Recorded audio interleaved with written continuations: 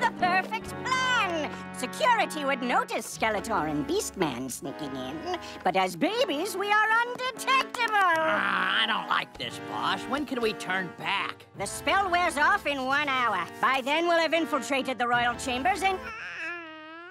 Uh-oh. Uh, how much of that did you hear?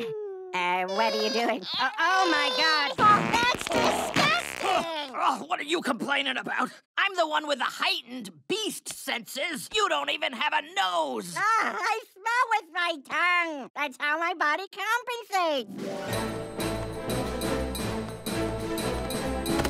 Okay, over the fence on three. One, two, three! These puny arms are worthless. 80% of my body weight is in my head.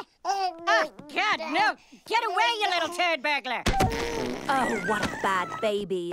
No pushing. Oh, oh, oh hey, hey, this isn't so bad.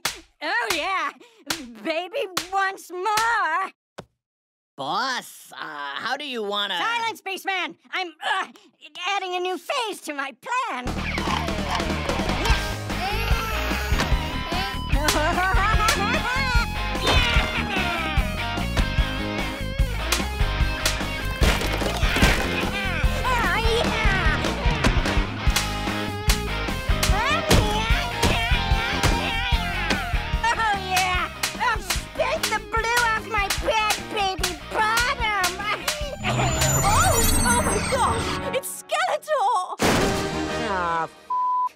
I, King Randor, award this Medal of Honor to Eternia's greatest champion.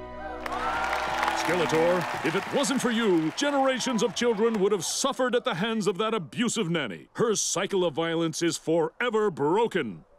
Thank you. Ah, hello?